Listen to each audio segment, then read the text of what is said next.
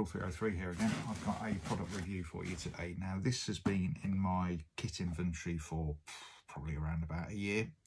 So it's seen a bit of use and I think I'm pretty well placed to kind of offer an opinion on it. So the company that makes this, what is essentially a shoulder bag, As you can see there it has a strap and it also has a carry handle is a company called Magforce. Now Magforce are not known for being top of the line kit. Um, that being said, I think there's a place for some of these manufacturers that come in a little bit more on the cheap side.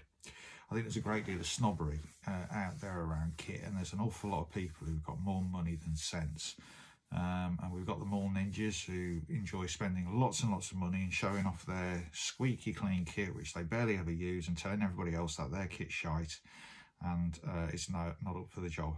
So, personally, I think that uh, some of the cheaper, lesser, uh, expensive manufacturers have really got a place for a couple of reasons.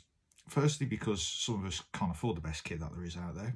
Um, some of us don't want to pay for the best kit that's out there, uh, and I put myself in that category in the sense that I I buy what I buy my kit for the need for the purpose that I need it, rather than uh, you know buying the, the, absolute best polar arctic tent when I know that I'm only going to be going to the Peak District for a, a night. You know, I don't see much point um, really. Um, in in in over overbuying when you don't need to. I've got money to spend on other things. That being said, I think there's also a place for good kit. So um, I'm not doing down people that need good kit for the purpose for which it was intended, but yeah, uh, there are plenty of people out there that will run down people who can only afford a certain type of equipment uh, and kit. I don't think we should be put off by that because everybody's got their own price point, everybody's got their own circumstance. Anyway, rant over. So Magforce come in at the cheaper end of the kit market, but not at the very cheapest. So this little bag cost uh, £70 from Heinnie Haynes. Uh, not the cheapest uh, retailer out there, but probably one of the best in terms of the service they offer, the after-sales service they offer, and the speed of delivery are all excellent from Heinnie's, as anybody will know that's used them at all, ever. Um, this bag, the purpose that I bought it for was really as a, a kind of an EDC uh, bag to put in the boot of the car to have a few essentials in for overnight stays, for emergencies, for, you know, sort of bit of a bailout bag kind of thing. And really the idea was that this bag would kind of keep me going for around about a day uh, away from home if I needed it to. Uh, there's also a lot of other purposes that you could use this bag for. You could use it for shooting, you could use it for any purpose really that takes you outdoors.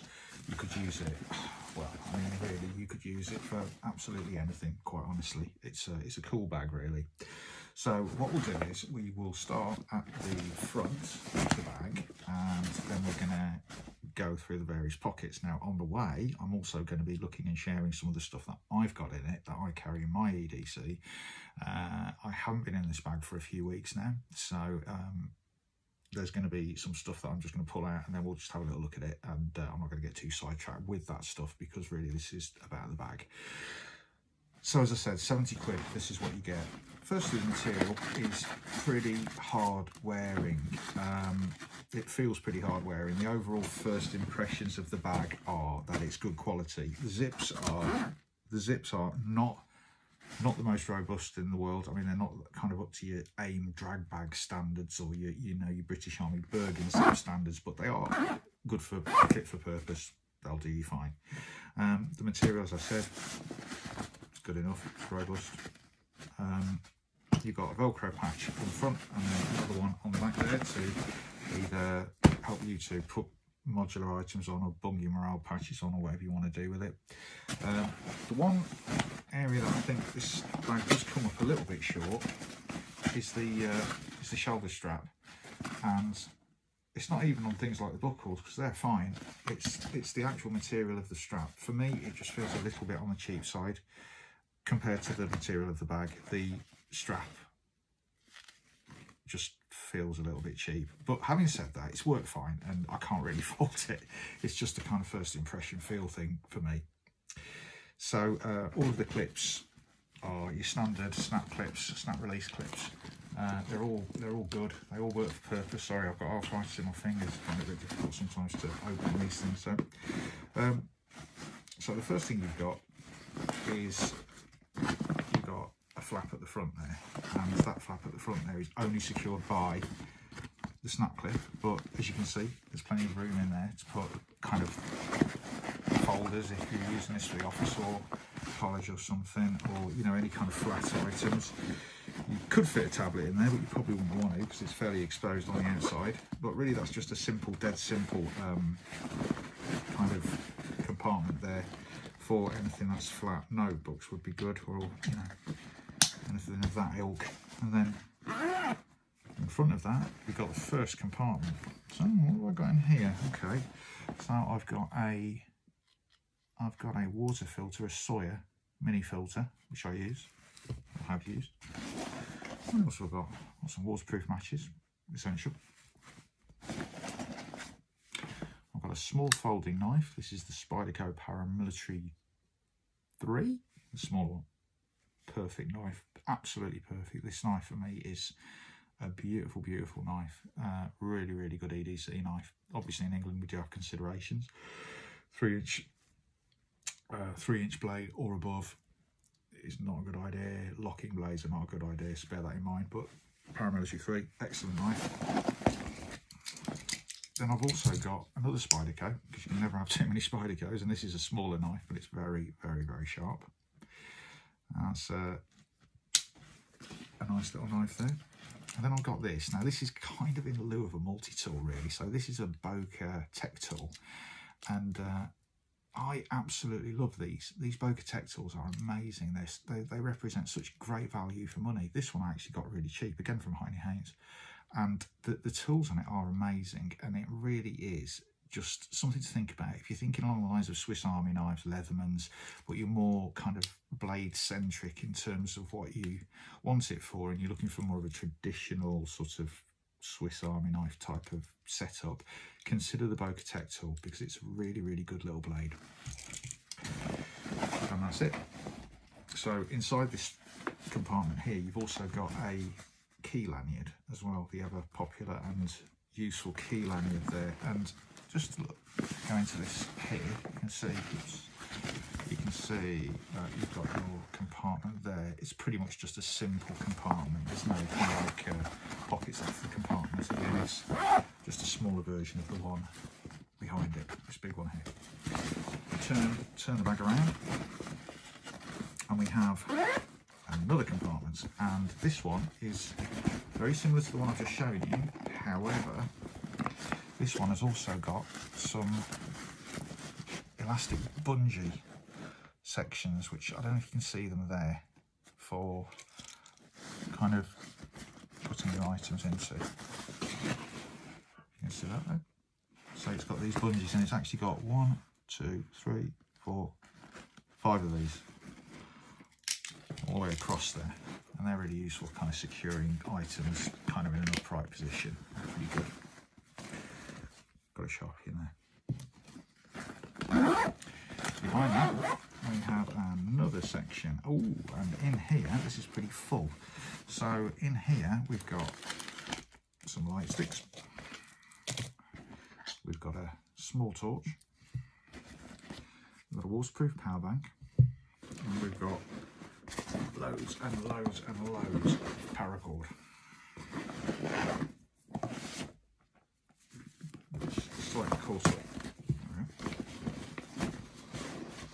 We've also got some Gorilla Tape, which is always essential. Mm. That's it. So in this pocket, as you can see, you've got two sub pockets which are secured to the side of the bag. And inside, you can obviously use those to put things in and keep that side from what you want at the front of the pocket there.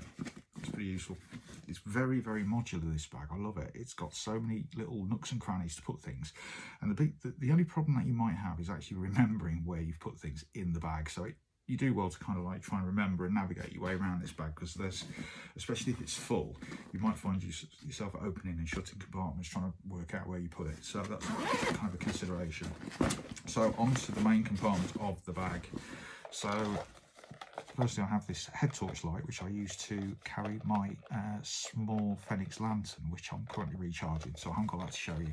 I'll do a review on that though, it's a really good little item.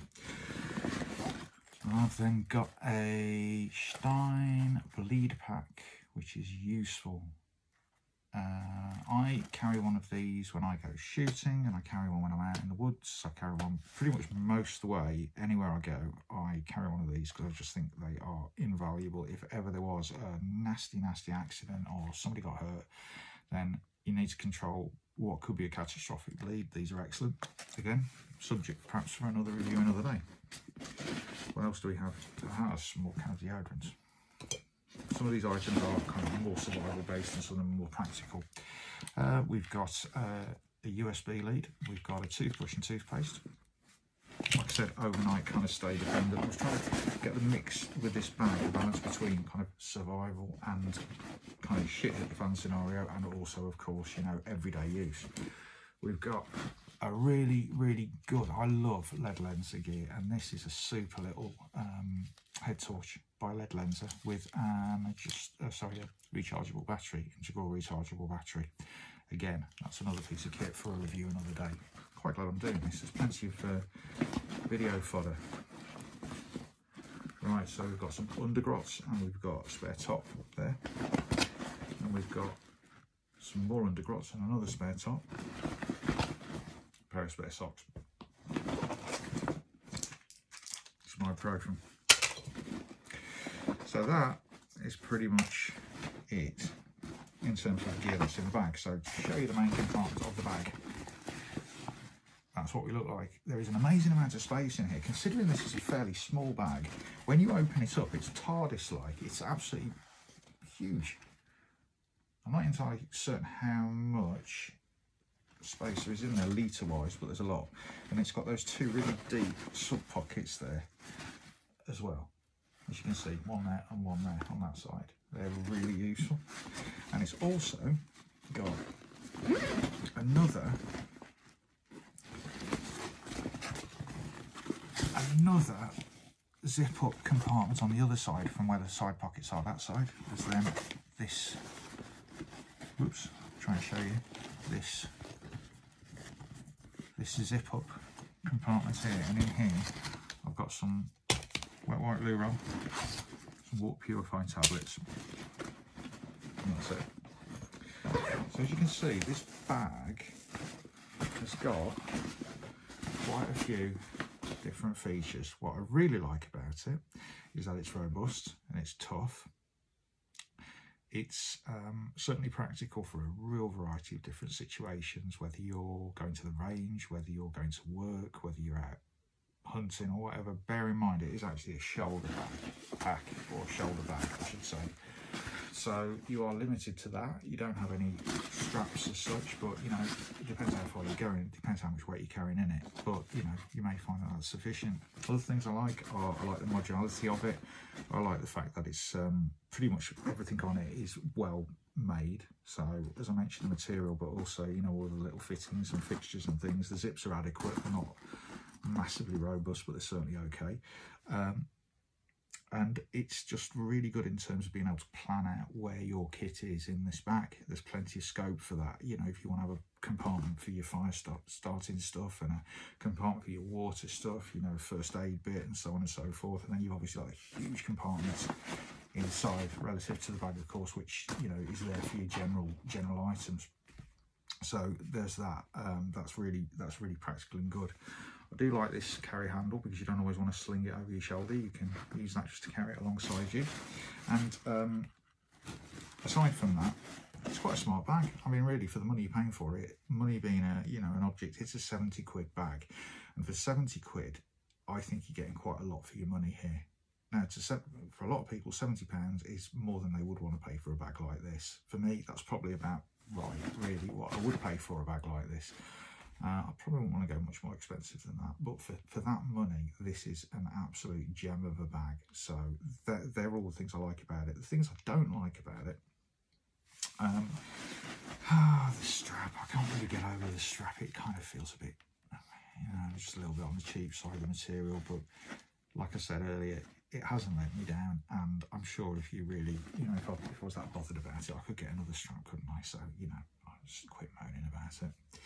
Um, the only other consideration, as I mentioned earlier, is that there's a lot of compartments, so you are going to have to remember where you've put what, because otherwise you're going to be stuck. Because you're just going to end up opening every section, trying to remember, trying to find out what it is you've uh, you're looking for. So bear that in mind. Uh, that's something that you do need to, to kind of consider when you're planning what you're doing uh, and what you're going to be using it for. So, like I said, I think for what it is, I think this bag is a good bag. Um, I would recommend buying it. I wouldn't recommend paying much over 70 quid for it. If you can get it any cheaper, then uh, great. You will find it on uh, some of the outdoor shops, Heinnie Haynes and a few other people um, uh, online will be selling it. In general, it's a great bag. So I'm going to leave it there. Uh, like and subscribe this video if you felt it was useful. That would really help me. And if you've got any comments or if you want to know any questions, anything else about the bag, give us a shout. But like I say, it's had about a year's worth of use and it hasn't just sat in the boot of the car. I've taken it down to the range. It's been thrown about a bit and it still looks really good. So there we are, Magforce bag.